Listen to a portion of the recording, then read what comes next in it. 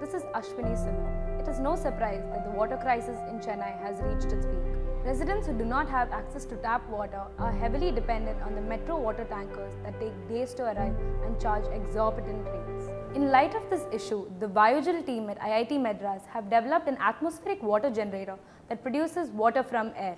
This could prove to be a sustainable and an immediate solution to the water crisis in Chennai. We are here at IIT Madras today with the co-founder of VayuJal, Mr. Ramesh Kumar Soni. He has been working on this project since 2015. Hello, sir. Hi.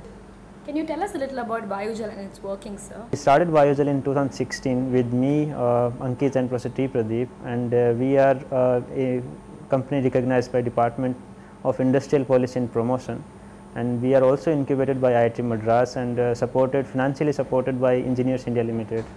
For atmospheric water generation what we do is that we have uh, we collect the air and we filter it and then after the air filtration we pass it through a uh, cold surfaces which are you know which which, is cooled down using the refrigerants and on those cold surfaces we do the condensation and then that collected water is you know uh, filtered through several stages and remineralized and then dispensed for drinking.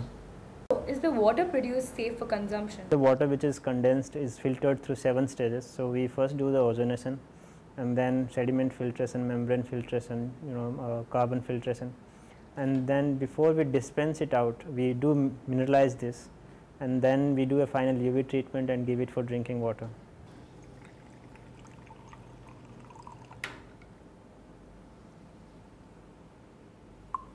What are the various capacities of these water generators? uh, are working on four scales of atmospheric water generator. The smaller, smallest one is 30 liters per day. This can be used in a kitchen or in a household. Second one is 100 liters per day, which can be kept, you know, kept, which can be used for schools or houses or offices, and uh, can be installed or kept in balconies or rooftop. And then the next one is 400 liters, which can be, you know, used for cor any corporates or restaurants or you know hotels.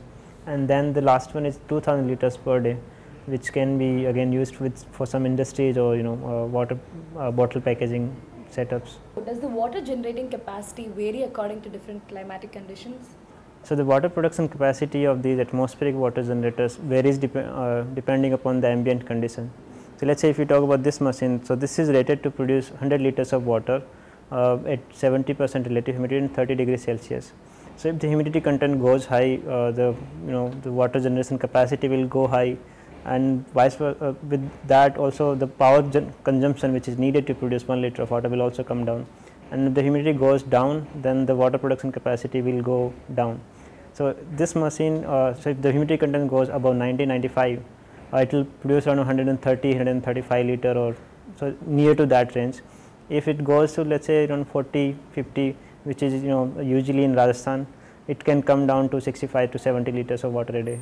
Can you tell us about the future plans of VayuJal? We are working on um, you know scaling up our production capacities and we are setting up a manufacturing place in Perungudi industrial area. And uh, with that uh, we are uh, making a 2000 liters per day unit uh, with solar. And after that uh, we are trying to bring down the you know the power consumption which we do which which is there you know to generate 1 liter of water to even below 0.25 kilowatts per liter and uh, also we are working on desiccant systems which can make these machines uh, you know run in uh, arid areas without reducing the water production capacity as much.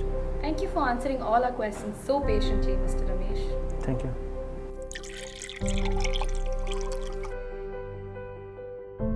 I hope a lot more people work towards a more sustainable future.